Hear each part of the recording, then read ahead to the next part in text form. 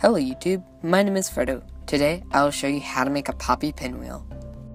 You will need a square red paper, glue, a black thumbtack, scissors, and a pencil with an eraser.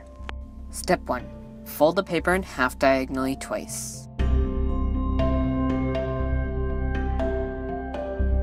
Step 2. Cut along the four fold lines two thirds of the way down.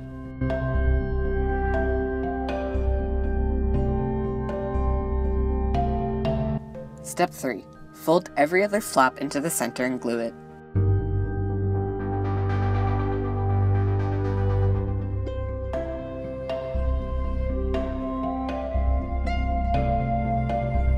Step 4.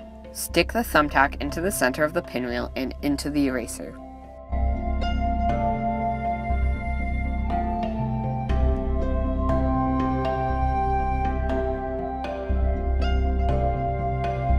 Step 5.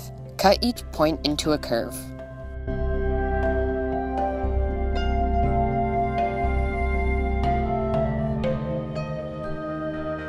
That was how to make a poppy pinwheel. I'm Fro from Fro's Lab and I'll see you next week.